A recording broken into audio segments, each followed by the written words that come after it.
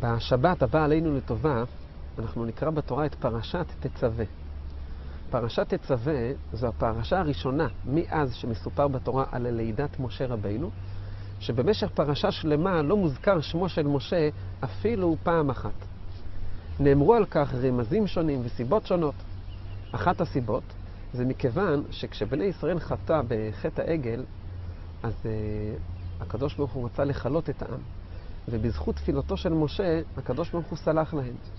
משה רבינו אמר לקדוש ברוך הוא, אם אין, כלומר, אם אתה לא תמחה להם, אז מחני כלומר, תמחוק את שמי מספרך, מספר התורה שלך.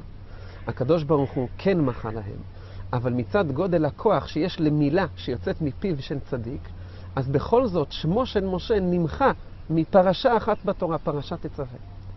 מצד אחד שמו של משה לא מופיע בפרשה, אבל הוא עצמו נוכח בפרשה בצורה הכי מיוחדת והכי גדולה שיכולה להיות. מתחיל במילה הראשונה של הפרשה, ואתה. אתה זה מוסב כלפי משה רבינו. המילה אתה מתייחסת לעצמיותו של משה עוד יותר מאשר השם משה עצמו. כי השם של האדם זה עדיין עניין חיצוני ביחס לאתה, אתה בעצמך. וכאן אנחנו למדים שכשיהודי מוסר את הנפש בשביל יהודים, בשביל עם ישראל, ולרגע נדמה לו שהוא מפסיד מכך, בסופו של דבר הוא מגלה שדווקא הפנימיות שלו והעצמיות שלו מתגלה על ידי זה.